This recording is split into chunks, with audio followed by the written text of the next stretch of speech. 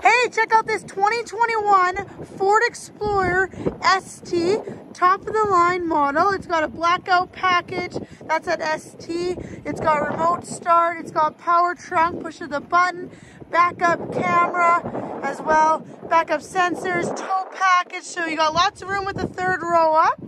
Uh, push the button right here, push that button. The third row is gonna lay all the way down flat. So you're gonna have that extra room if you need it as well. Push of the button, the trunk will automatically close. Take you to the back seat here. So it's a six passenger ve uh, vehicle. You got the bucket seats in the second row here.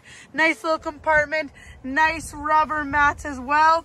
You got your own climate control heated seats as well you got these nice little blinds on the back seat as well, uh, windows.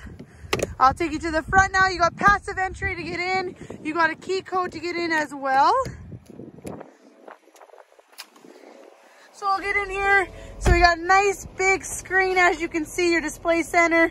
You got your Bluetooth, you got your navigation, you got your dual climate control, heated and cooled seats, heated steering wheel for these chilly days like today.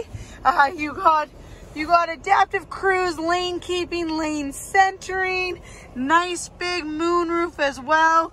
Um, you also have different drive modes. This vehicle parks itself. You got a nice little wireless charging pad right there. You can just set it on as well. Um, this does have, as you can see, I'm just putting here, massaging seats.